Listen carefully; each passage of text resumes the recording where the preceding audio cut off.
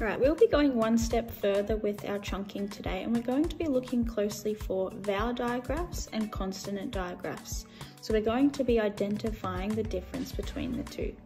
Your task today will be to do the same thing as you did last week with our bubbles, to separate their words into their separate speech sounds, and then to identify the consonant digraphs and the vowel digraphs using two different colours. Now I chose to use blue and red. You can choose any two colours you like.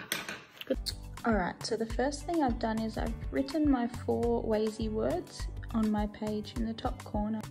Now the next thing I'm going to do is I'm going to start with the word boat. I'm going to sound out the word and then write my bubbles down. B O T. So I've got three sounds. One, two. I'm hearing three different sounds. Alright, now that I've got my bubbles, I'm going to write my word down. So B O Now you can see in the word boat, the OA are making an O sound. Now O is a vowel sound. So for that, I'm going to colour this one in red. This is going to be a red cookie. Okay, it's a vowel sound.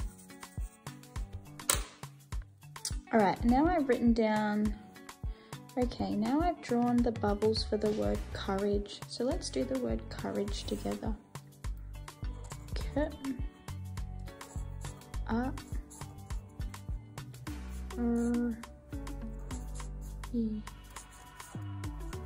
j alright now I've got a j there so the G and the E are making a consonant sound I'm going to colour them in blue so you will need two different colours for this activity and k -a, the OU is making an up sound which is a vowel sound so I'm colouring the vowel digraph in red, just like this one here.